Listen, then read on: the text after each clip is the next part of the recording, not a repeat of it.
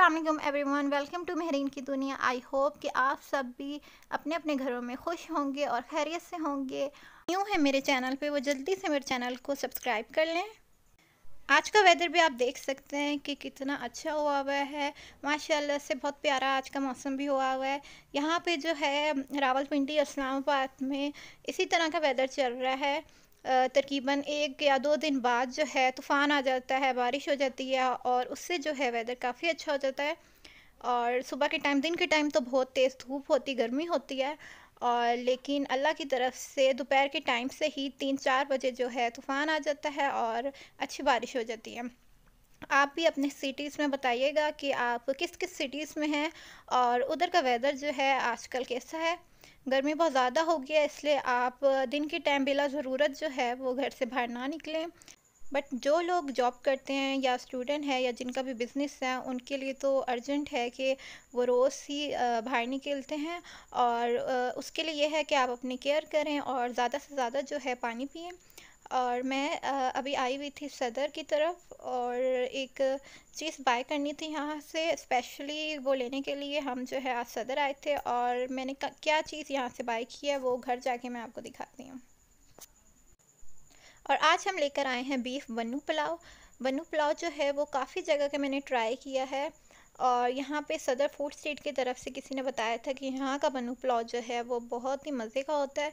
तो हमने सोचा कि वहाँ से भी ट्राई किया जाए। तो इसलिए आज स्पेशली उसको लेने के लिए हम सदर गए थे और इनका जो बीफ बनू पुलाव है, वो वाकई बहुत ही बहुत मज़े का था।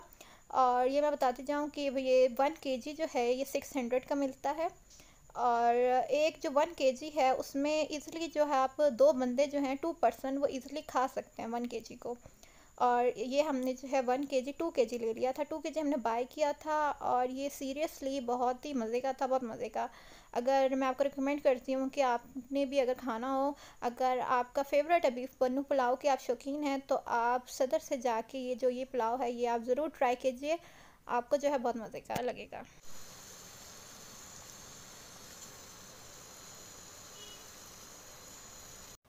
और अब जो है यहाँ पे हो गया था चाय का टाइम और यहाँ पे मैं बना रही थी चाय।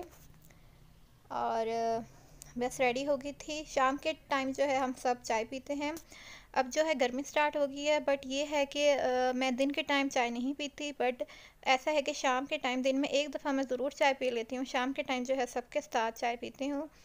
बाकी जो नाश्ते के साथ है, मैं बिल्कुल नहीं पीते। उसके साथ जो है, मैं फ़्रेश जूस जो है, या ऑरेंज जूस, कोई सब जूस जो है, वो यूज़ करती हूँ नाश्ते के टाइम। और शाम के टाइम जो है, ये बना ली थी, चाय रेडी हो गई थी। और सबकी चाय की अपनी अपनी चॉइस होती है। हमारे घर जो पसंद है सबको अम्मी को भी मुझे वो एवरीडे की चाय है हम एवरीडे की चाय पीते हैं और ऐसा होता है कभी कि मैं कहीं भी जाती हूँ बाहर या किसी के घर और एवरीडे की चाय ना मिले तो मुझसे पी नहीं जाती और मुझे बिल्कुल अच्छी नहीं लगती। और मेरी जो चॉइस है, वो एवरीडे की है और साथ में जो है स्ट्रॉन्ग चाय मैं बनाती हूँ और चीनी जो है बिल्कुल सी हाफ़ से भी कम मैं इसमें चाय में डालती हूँ।